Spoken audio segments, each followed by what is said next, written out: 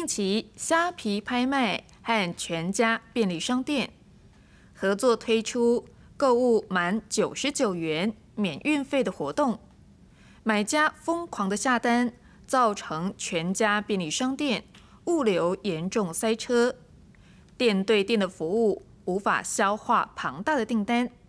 消保官表示，如果造成了消费者的损失，可以向全家来提出损害赔偿。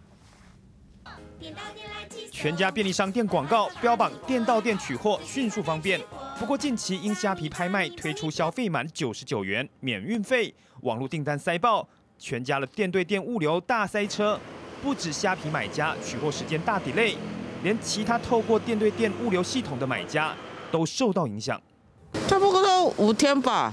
如果上面说休几天到几天，你延迟的话，当然是我权益会受损啊。对消费者的这个部分，并没有承诺，就是呃业者这里会在几天后呃取货，因为每一次在做这一类的免运促销的时候，都会爆量。那目前呃我们也已经二十四小时，并且是加派百位的人力去处理。不止买家取货时间延迟，因物流系统塞车，有网络卖家抱怨生意受冲击，并秀出虾皮拍卖公告讯息，写着全家物流服务将在十一号周五起暂停服务，但为了留住客人订单，只能咬牙自行吸收运费。他们大部分很急的，就是从其他通路下单，那等于可能我们买家会呃卖家会要承受一点运费。全家有没有接受这个运送的？那个有没有跟你成立运送的契约？那如果成立了，那当然还要按照你们运送契约上面来进行。如果全家有 delay 的话，当然直接要跟全家求偿。那全家如果觉得这个他的 delay 是因为虾皮之间的虾皮的关系，那他自己再去跟虾皮做求偿。虾皮拍卖官网公告，到货时间将延迟五到十天，并在九月提供全家咖啡的兑换序号，补偿买家的损失。下周一，消保官将邀请全家便利商店及虾皮拍卖，针对民众权益受损的部分进行讨论，以厘清后续的赔偿责任。记者黄立伟、吴家宝、谢奇文综合报道。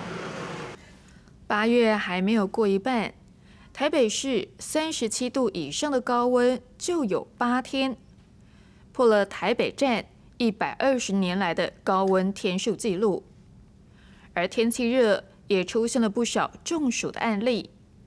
日前就有一名五十九岁的男性工人，在大太阳下连续工作两个小时，出现走路摇晃、讲话不清，最后昏倒在地，送医抢救四天，虽然捡回一命，但是似乎因为温度过高，已经伤及大脑。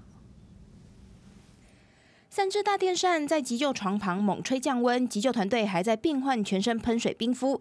日前，一名五十九岁男性在工地钻地时，疑似不耐烈日狂晒中暑昏迷，被送到医院时体温一度冲到四十三点八度，昏迷指数只有三。经过四天的抢救，才从鬼门关前捡回一命。生命状况虽然稳定，但这名男子的大脑却已经受损。大部分热伤害的病人在四十度之前，可能只是热衰竭、全身无力等等。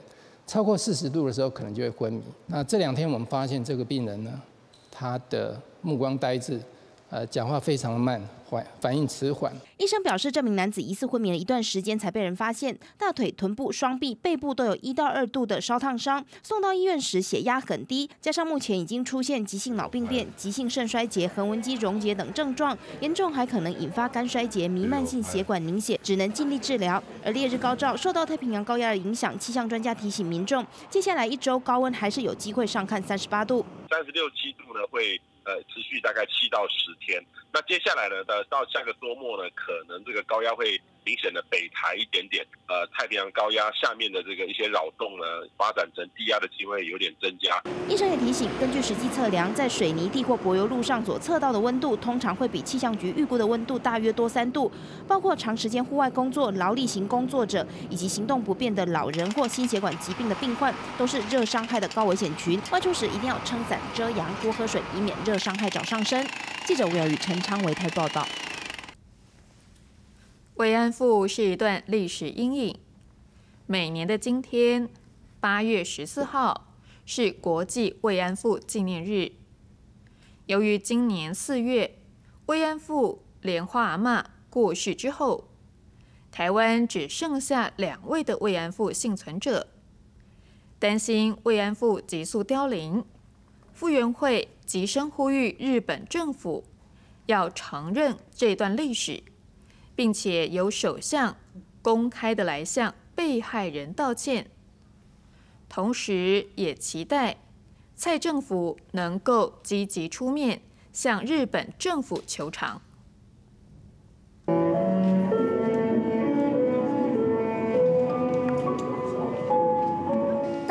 手演奏音乐家邓宇贤的《碎心花》，悼念慰安妇这段历史阴影。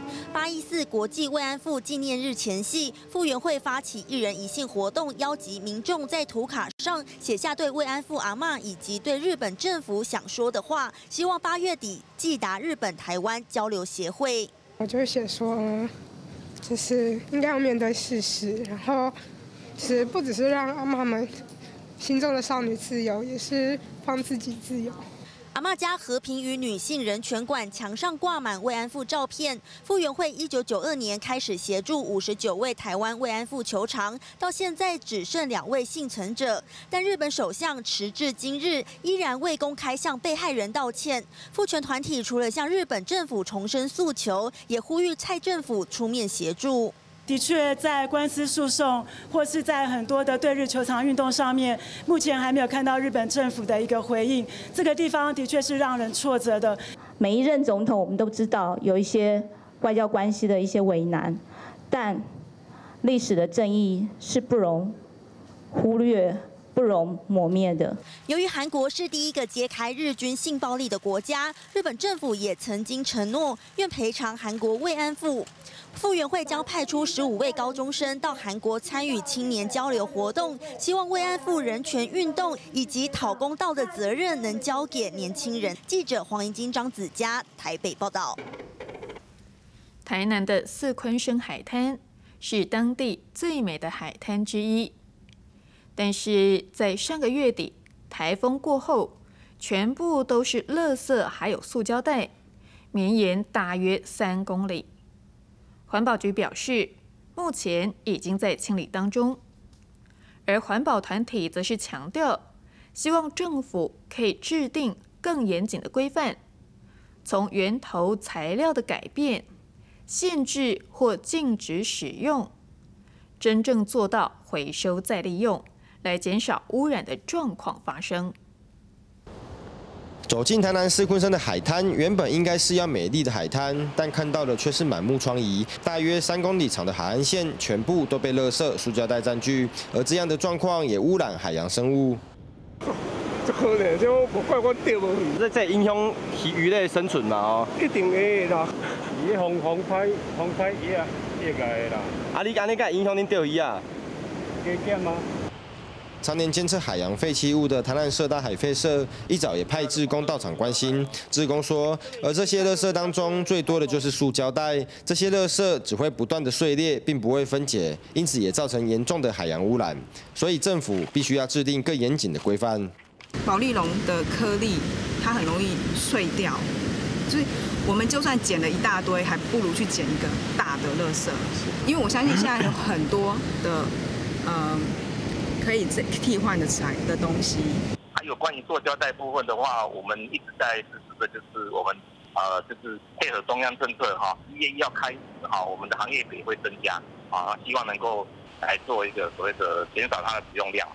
台南市环保局强调，塑胶袋是否要禁用，则是会配合中央政策来实施。目前最重要的就是要先整理海岸，因此已经派员清理现场，希望短时间内可以将海岸恢复原貌。记者温正恒台南报道。